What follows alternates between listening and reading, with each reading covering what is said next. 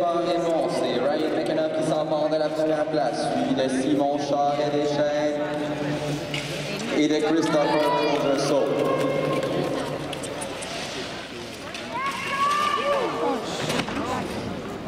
Chute du patineur de BC Christopher Contresault.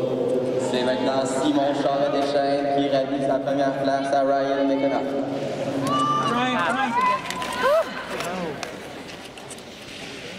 Up. Go, go, go. And it goes all that fire, two dances. Simon Charlie, Shane, Ryan, McKenna. This guy's slow. You slowed it down, right? there.